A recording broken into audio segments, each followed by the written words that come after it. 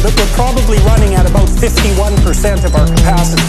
I often ask how many hours a day you waste or how many hours a week you waste. The classic answer is something like four to six hours a day. Inefficient studying, watching things that not only do you not want to watch, that you don't even care about, that make you feel horrible about watching after you're done. That's probably four hours right there. Well, that's 25 hours a week. It's 100 hours a month. That's two and a half full work weeks. It's half a year of work weeks. You're $50,000 a year. And you are doing that right now.